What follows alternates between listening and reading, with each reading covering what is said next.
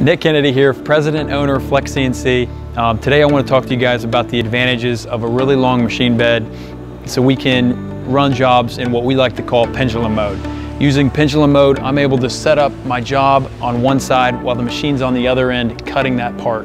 Uh, we get 100% spindle uptime and we're able to, to do that using light curtains on our big gantry machine and using our laser scanner on our TRD series machine. Whereas on most conventional machines, you'd have to open the door, the machine would stop running. With the really long machine bed, I'm able to load, unload, while the machine is still on one end cutting parts.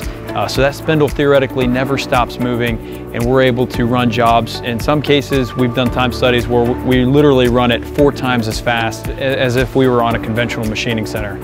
So if you have any questions, want us to run a time study for you so we can show you how fast you can run your parts, how we can help you make money using the Flex CNC for your jobs, give us a call, 800-837-2503, and uh, we'd love to run your job for you and do a detailed time analysis.